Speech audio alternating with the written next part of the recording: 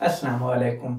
ناظرین، ایک ایسے وقت میں جب دنیا بھر میں یہ بحث ہو رہی ہے کہ چوتھے صنعتی انقلاب سے ملکی معیشت اور عام آدمی کی زندگی پر کیا اثرات ہوں گے، بدقسمتی سے اس وقت پاکستان میں ہر سو ایک ففتھ جنریشن وار نامی گمنام نظریے کے چرچے ہیں۔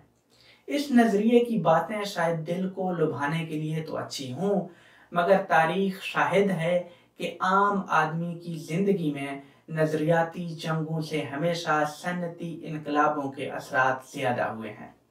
معاشی تاریخ دان اس بات پر متفق ہیں کہ لوگوں کی معاشی حالات میں جیسا انقلاب پہلے صنعتی انقلاب سے برپا ہوا، ویسا نہ اس سے پہلے کبھی ہوا تھا اور نہ اب تک ہو سکا۔ پہلے صنعتی انقلاب کا آغاز اٹھارہویں صدی کے اختتام میں ہوا۔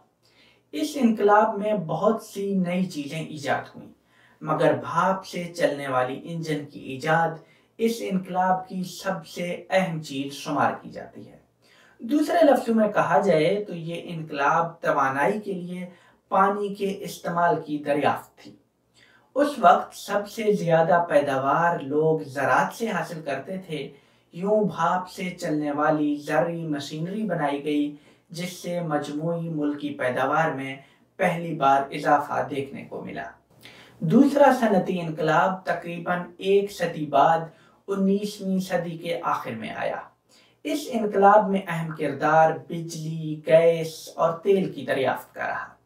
سٹیل کی انڈسٹری، اسمبلی لائن، کھادیں، جدید زرعی مشینری، مصنوعی دھاگا ٹیلی فون اور ٹیلی گراف کا ایجاد بھی اسی انقلاب کے تحفے تھے۔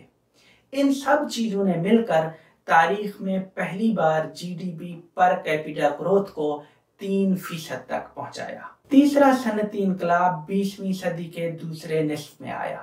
اس انقلاب میں سب سے زیادہ اہمیت کمپیوٹر کے پروسیسر کی ایجاد اور جوہری توانائی کی دریافت کو حاصل ہے۔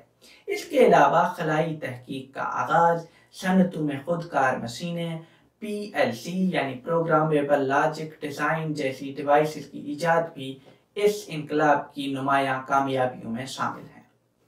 آج کل ہر طرف چوتھے انقلاب کی باتیں ہو رہی ہیں۔ اور اس انقلاب کی وجہ یہ ہے کہ آج کی دور میں کمپیوٹرز خودکار ہونے کے علاوہ سوچنے کی بھی صلاحیت رکھتے ہیں۔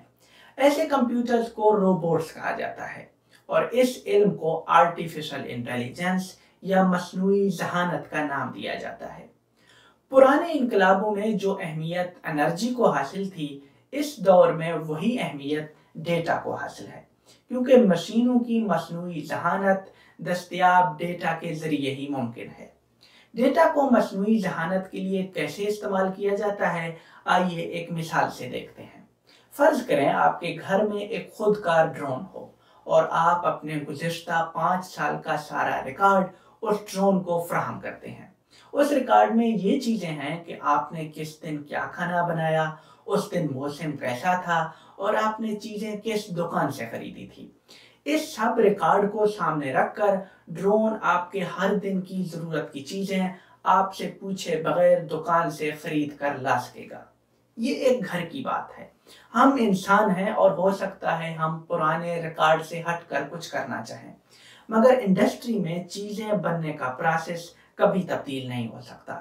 اس سے آپ اندازہ لگا سکتے ہیں کہ ان سوچنے والے کمپیوٹر سے انڈسٹری میں کیسا انقلاب برپا ہوگا۔ اس انقلاب کے پاکستان جیسے ترقی پذیر ملکوں پر کیا اثرات ہوں گے؟ اس حوالے سے ماہرین کی رائے منقسم ہے۔ زیادہ تر کا گمان ہے کہ اس انقلاب سے امیر اور غریب ملکوں کے درمیان فرق مزید بڑھے گا۔ اس کی وجہ وہ یہ بتاتے ہیں کہ غریب ممالک کے پاس معاشی غربت کے علاوہ علمی غربت بھی ہے اور اس علمی غربت کی وجہ سے وہ جدید چیزیں بنا ہی نہیں سکیں گے۔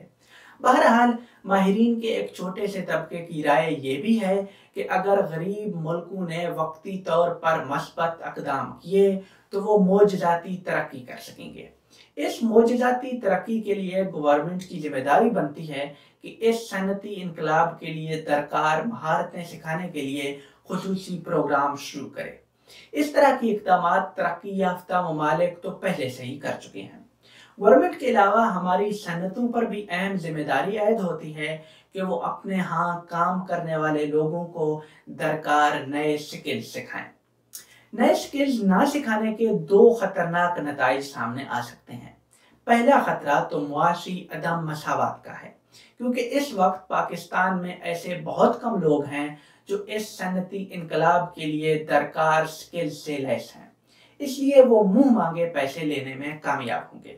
جبکہ دوسری طرف ایسے لوگوں کو کوئی کم مزدوری پر بھی رکھنے کو تیار نہیں ہوگا جس کے پاس جدید سکلز نہیں ہوں گے۔ اگر بغیر سکلز والے مزدوروں کو کسی حکومتی پالیسی کی وجہ سے صنعتوں میں کام دینا پڑ گیا، تو ہماری صنعتیں پیچھے رہ جائیں گی۔ صنعت یا صنعتی مزدوروں میں سے کسی کا بھی پیچھے رہ جانا ملکی مفاد میں نہیں ہو سکتا۔ صنعت کار اور سرکار کے علاوہ ہر فرد کی بھی یہ ذمہ داری بنتی ہے کہ وہ خود کو اس قابل بنائے کہ وہ اس صنعتی انقلاب سے بھرپور فائدہ اٹھا سکے۔